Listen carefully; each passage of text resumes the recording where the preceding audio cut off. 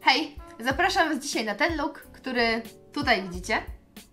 Jest to no, typowy dla mnie look, czyli bardzo rozświetlony, z dosyć neutralnymi oczami, ale dzisiaj będziemy się skupiać przede wszystkim na testowaniu nowości, ponieważ mam dwie nowe bazy, do tego nowy sypki pigment oraz nowe sztuczne rzęsy.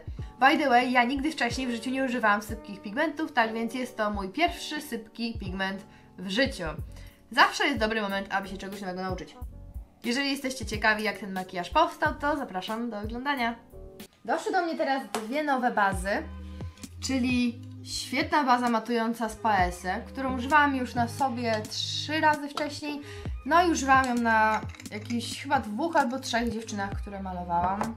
Biorę taką małą ilość na palec i rozprowadzam w całej strefie T.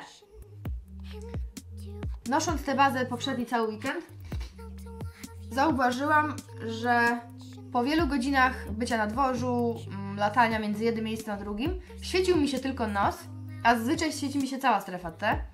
No, a nos u mnie jest szczególnie trudny, co oznacza, że ta baza naprawdę nieźle ogarnia. A na policzki nakładam zieloną bazę z Kryolanu. I rzeczywiście ta baza ma znacznie mocniejszy zielony kolor na skórze niż na przykład baza z Inglota albo z L'Oreala. No i obecnie jest to moja ulubiona zielona baza. Odczekałam 5 minut i teraz zacznę nakładać podkład. Dzisiaj sięgam po MAC Pro Longwear w kolorze NC20. Dostałam naprawdę dużo wiadomości, w których polecałyście mi te gąbki z Real Techniques. Ja ogólnie uwielbiam firmę Real Techniques, więc w końcu postanowiłam, że spróbuję te gąbki. I jest, ta gąbka jest zupełnie inna niż gąbka z Inglota. Ona jest taka miękka, podczas gdy gąbka z Inglota jest naprawdę twarda. I na początku musiałam się trochę przyzwyczaić, ale teraz już nie ukrywam, że jestem zakochana. I teraz możecie zobaczyć, jaki idealny efekt daje połączenie tej zielonej bazy z tym podkładem. Żadne czerwienie się nie przebijają i to jest genialne. A patrzcie, jaka jest różnica między moim czerwonym noskiem a tym. Dalej kontynuuję mój sposób na nakładanie kremowego konturowania, czyli nakładam kredką na pędzel, a nie na twarz, dzięki czemu nie przemieszczam aż tak podkładu i nie mam tych takich linii, które czasami bardzo ciężko jest rozmazać. I zamiast rozcierać konturowanie po twarzy, stempluję twarz pędzlem. Wiecie co jest dziwne? Ja naprawdę nie mam pojęcia jaki mam kształt twarzy.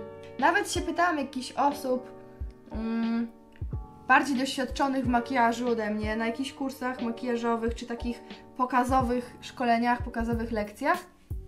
I za każdym razem od każdego makijażysty słyszałam zupełnie coś innego.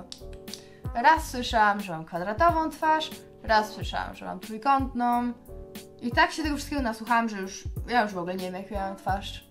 A jednocześnie ja zawsze uważam, że nie musisz wiedzieć, jaki masz kształt twarzy, ani jaki masz kształt y, nosa, no nie wiem, oka. Nic takiego nie musisz wiedzieć, żeby się dobrze malować. Ponieważ make-up to jest też kwestia Twojego osobistego wyczucia kształtu, a nie tylko tego, że wiesz, że to jest taki kształt, więc będziesz tak to robił. Jeżeli po prostu jakoś tak czujesz swoją twarz, to nie musisz wiedzieć, jaki masz kształt. Nosa nie konturuję kremami, ponieważ mój nos jest tłustym stworzeniem, dlatego można mu czasami oszczędzić już trochę tego wszystkiego. Dwa dni temu z powrotem zakupiłam mój ukochany puder pod oczy z Inglota. Przez ostatnie dwa miesiące mi się skończył i nie wiem czemu. Za każdym razem jak byłam w galerii, to zapominałam go kupić.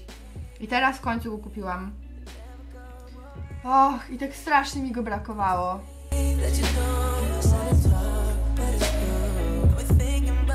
Teraz tylko rozprowadzę ten puder. Nakładam tutaj puder po to, jak jest niesmaczny. Nakładam puder w te miejsca, ponieważ czasami zbiera mi się podkład, jak dużo gadam i się śmieję. A że dzisiaj mam mega długi dzień i jeszcze będę wieczorem szła do znajomych i mogę coś tam, coś tam, no to na pewno będzie mi się chciał podkład zebrać, więc sobie tutaj robię mały baking w tej strefie.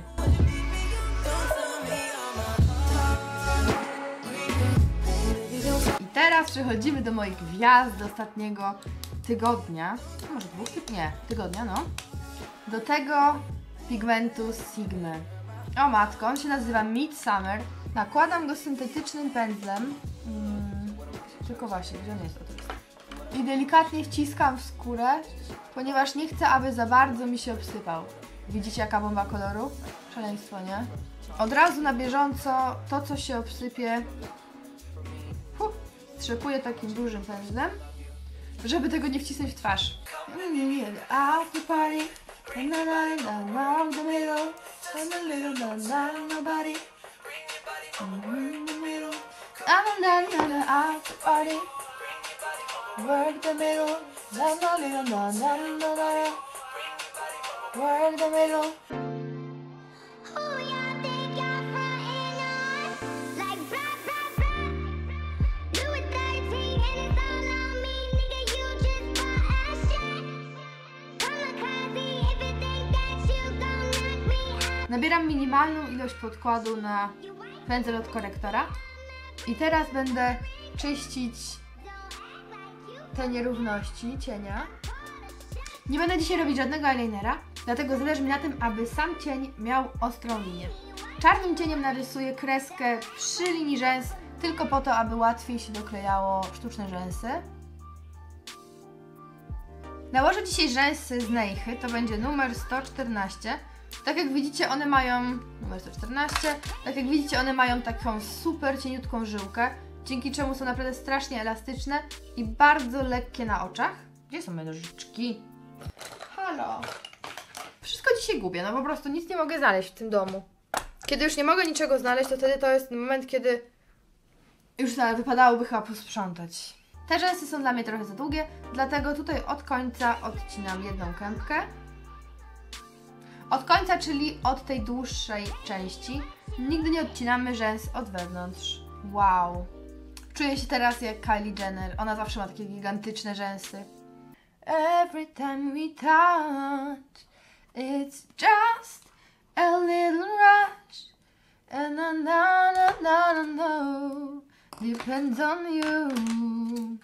I na koniec, jako taką cudowną wisienkę na torcie, dokładam rozświetlacz wewnętrzny kącik. Konturowanie twarzy rozpocznę od bronzera Bahama Mama, który by the way jest moim ulubionym bronzerem na całym świecie. Na to wszystko dokładam jeszcze bronzer y, Hula z Benefitu, który jest dużo bardziej pomarańczowy od Bahamy. I nakładam go zamiast różu.